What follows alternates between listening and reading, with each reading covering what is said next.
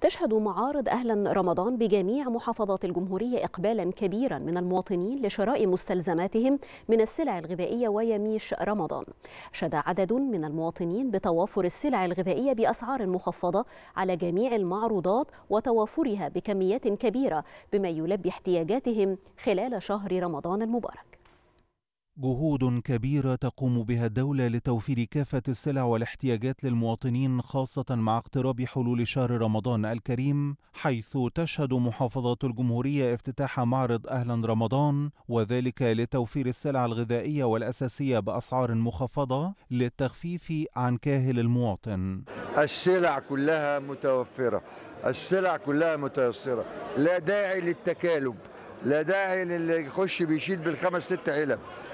إحنا موفرين كل مطالب المحافظة ومطالب الناس وبأسعار فعلا في متناول الجميع. كل الأصناف موجودة وبوفر الحمد لله.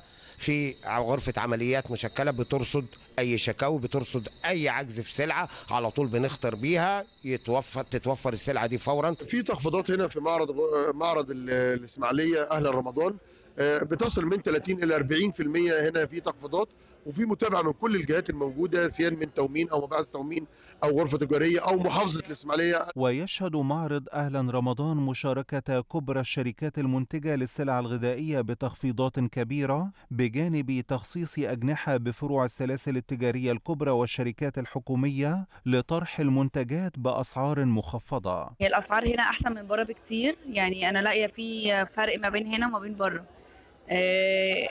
في حاجات معينة كان فرق ما بين هنا وما بين بره شاسع. فلا انبسطت يعني هنا بالأسعار بصراحة. نحب نشكر سعادة الرئيس يعني على الخدمة المبادرة اللي بيعملها كل سنة في رمضان. طبعا الأسعار هنا يعني غير كل سنة كمان يعني كل سنة في النازل يعني أكتر من السنة اللي فاتت. المعارض ديت بتتعمل الأساسي لها كل سنة قبل شهر رمضان. وفيها ميزة محترمة جدا إنها بتوفر كل مجالات الاستهلاك اللي إحنا بنستهلكها. شايفين طبعا الأسعار كلها وخصوصا اللحوم. طبعا شفنا اللحوم النهارده ب 95 جنيه سعر طبعا ما فيش زي كده وأسعار كلها كويسة والحمد لله. عندنا كل أصناف اللحوم من البتيلو ولحم موزة ولحم مفروم ولحم قطع.